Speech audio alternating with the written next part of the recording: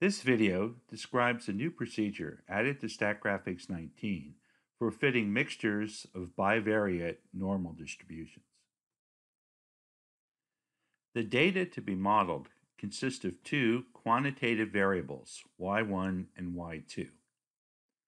The model to be fit to this data is a mixture of two or more bivariate Gaussian distributions.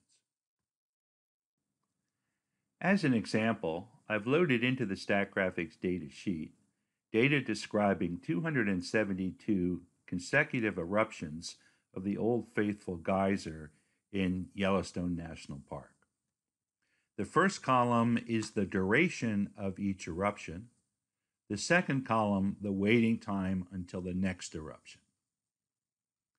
To get a quick look at this data, I'll go to the top menu, select Statlets, Density Estimators, Bivariate Density. Duration will be my first variable, waiting time will be the second. And when I press OK, it will show me a histogram, a bivariate histogram of the data.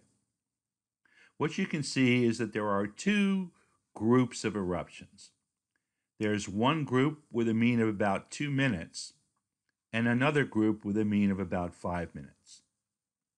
For the shorter eruptions, the waiting time tends to be short until the next eruption.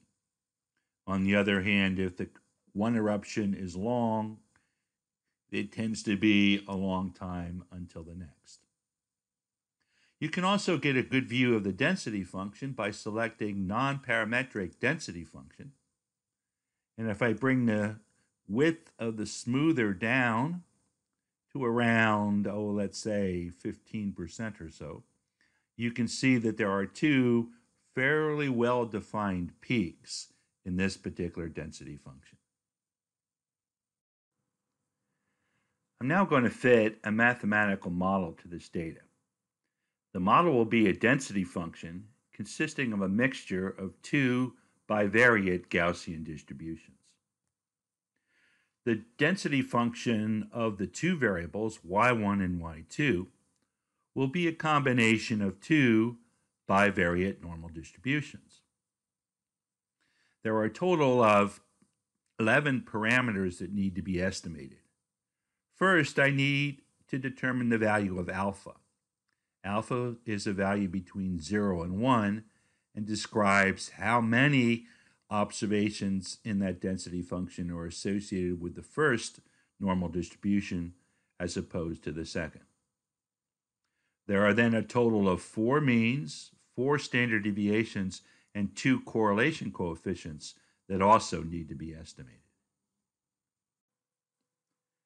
Back in StatGraphics 19, to estimate a mixture of bivariate normal distributions, I'm going to go to the top menu to describe distribution fitting bivariate mixture distributions. The first variable is duration, the second variable waiting time. On the analysis options dialog box, I need to tell the program how many components there are in this mixture distribution. I'm only going to fit two components. It's possible there could be more. There are a couple other options I can set, but normally I'll just go ahead and press OK. The list of tables and graphs include an analysis summary, estimated parameters, a comparison of models, that would be comparing models with different numbers of components, and over here, a plot of the fitted distribution. If I press OK, the program will go ahead and do the fit. And you can see in the model, there are two well-defined peaks, two bivariate normal distributions. Back in the table of estimated parameters, you can see the 11 parameters that needed to be estimated. First off, we have alpha, and that tells me that about 35.5% of the observations are associated with the first component, about 64.4 associated with the second component. You can also see the estimated means, standard deviations, and correlation coefficients.